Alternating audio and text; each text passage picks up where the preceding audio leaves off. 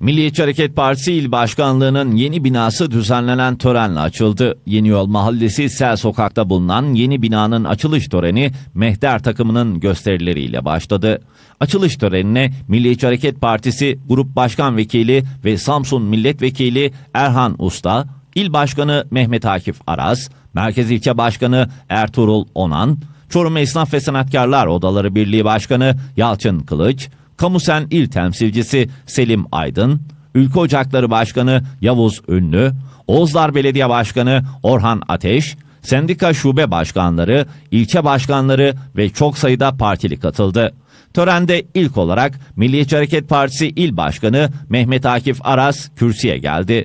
48 yıldır manevi gücünü sarsılmaz ülküsünden ve inançlarından alan ülkücülerin hiçbir şeyden yılmadan bayrağını dalgalandırdığını belirten Aras, Milliyetçi Hareket'in 48 yıllık yolculuğunun Türk'ün 100 yıla damgasını vuracağı bir yürüyüşün adı olduğunu ifade etti. 48 yıldır manevi gücünü sarsılmaz ülküsünden ve inançlarından alan ülkücüler hiçbir şeyden yılmadan Türk milliyetçiliği bayrağını dalgalandırmışlardır.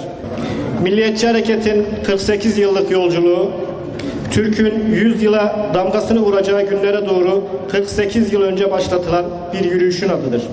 Binamızın hayata geçirilme sürecinin her safhasında emeği, desteği ve hizmeti geçen herkese bu vesileyle takdirlerimi ve şükranlarımı sunmayı da mutlu bir görev addediyorum.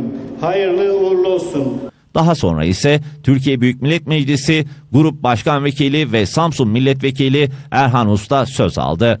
Usta, ülke gündeminde yer alan konular hakkında görüşlerini partililerle paylaştı. 15 Temmuz 2016'da Türkiye tarihinin en büyük ihanet girişimiyle karşı karşıya kaldı.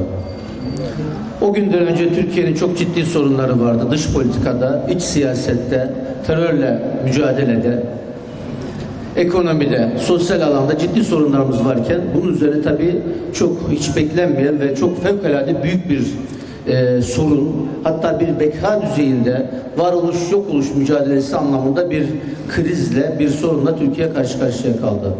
Türk milletine adamış bir siyasi hareketi mensupları olarak önce ülkem ve milletim sonra partim ve ben diyen anlayışın bu anlayışla, bu düsturla siyaset yapan bir siyasi partinin temsilcileri olarak biz tabii kısır siyasi çekişmelerin dışında ülkemizi bu sıkıntılardan kurtaracak yolların peşine düştük bu dönem içerisinde.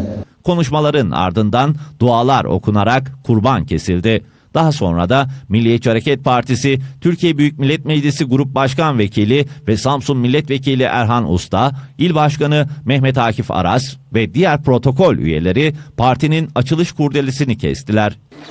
Bismillahirrahmanirrahim. Allah hayırlı uğurlu etsin inşallah.